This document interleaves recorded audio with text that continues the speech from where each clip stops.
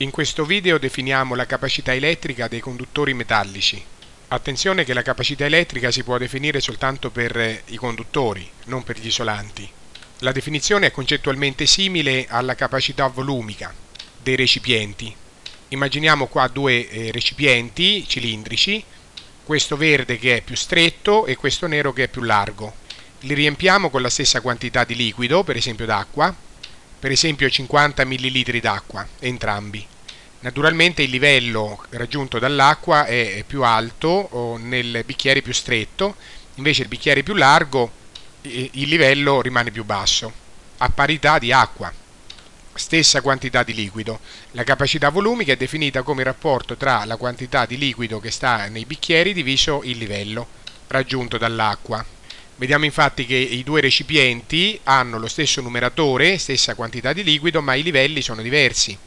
Siccome il livello del bicchiere B, quello più largo, è più basso, il denominatore è più piccolo, quindi la capacità volumica è più grande. Questo è logico, è quello che ci aspettavamo, cioè che il bicchiere più largo abbia più capacità del bicchiere verde e bicchiere A che è più stretto.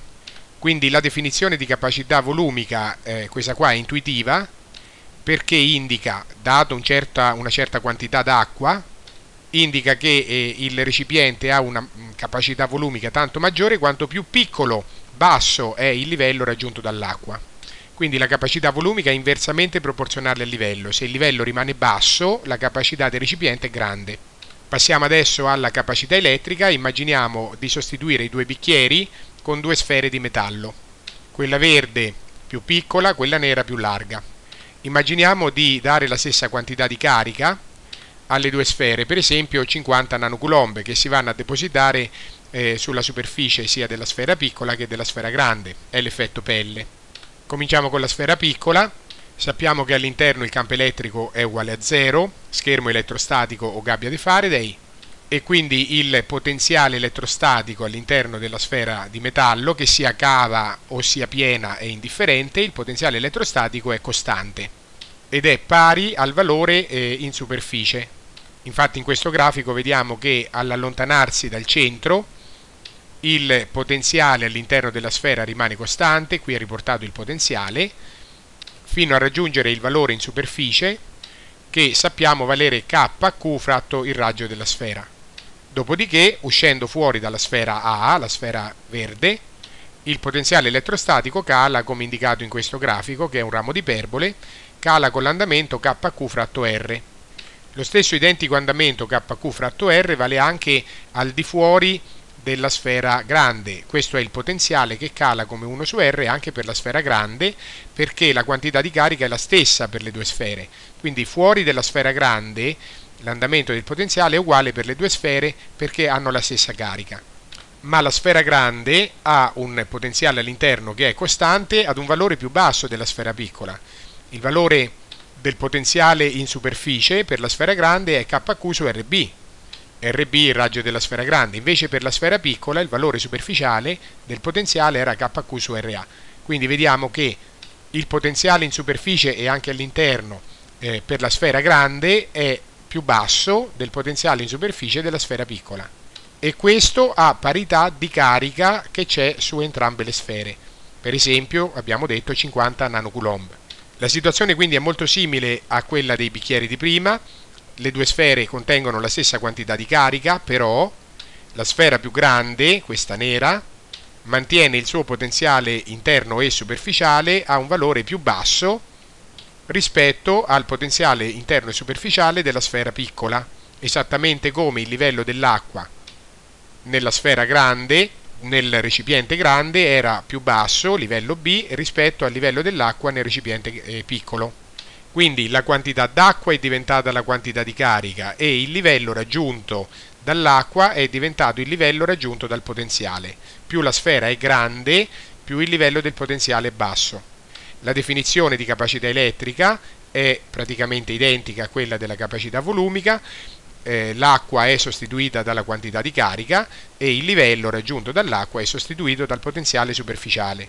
La sfera grande ha una maggiore capacità elettrica della sfera piccola e in generale eh, questa definizione non vale soltanto per le sfere metalliche, ma vale per qualsiasi corpo qualsiasi oggetto di metallo. La capacità elettrica infatti è grande quando mettendo su un oggetto di metallo sulla sua superficie una certa quantità di carica, eh, il potenziale a cui si porta alla superficie dell'oggetto rimane basso. Intuitivamente, come si vede anche da questo disegno, più l'oggetto ha grandi dimensioni e più la sua capacità elettrica è grande, un po' come accadeva per i recipienti. I recipienti più larghi, più grandi, hanno maggiore capacità eh, volumica. L'unità di misura della capacità elettrica, qua eh, mi sono dimenticato di scriverla, è il farad, che si indica con la lettera maiuscola F e corrisponde a un coulomb diviso un volt. Un conduttore metallico ha la capacità elettrica di un farad quando, ponendo sulla sua superficie un coulomb di carica, la superficie si porta al potenziale di un volt. Ora noi sappiamo che eh, è impossibile mettere un coulomb di carica su un conduttore in pratica, perché un coulomb di carica è una quantità troppo grande per poter essere isolata su un oggetto. Però immaginiamo di riuscirci, un coulomb di carica farebbe però salire il potenziale a un valore altissimo, non certo un volt soltanto. Quindi non è verosimile porre un coulomb di carica e avere il potenziale in superficie che sale soltanto a un volt. Questo, se accadesse, eh, vorrebbe dire che il conduttore di metallo ha una capacità elettrica enorme. Quindi la capacità elettrica di un farad è una cosa mai vista. Vedremo che i normali conduttori di laboratorio, per esempio una sfera di qualche centimetro di raggio, ha tipicamente una capacità elettrica di alcuni picofarad, pico 10 alla meno 12 quindi il farad è una unità di misura gigantesca, nella pratica si utilizzano i sottomultipli come il picofarad o il nanofarad, eh, che sarebbe un miliardesimo di farad. La capacità volumica e la capacità elettrica sono anche analoghe alla capacità termica degli oggetti, dei corpi, che è definita nello stesso modo. Q, dove però stavolta Q è la quantità di calore che viene data a un oggetto, diviso la temperatura, o meglio l'aumento di temperatura di quell'oggetto. Infatti un oggetto ha una grande capacità termica quando io posso dargli tanto calore e la sua temperatura si alza di poco.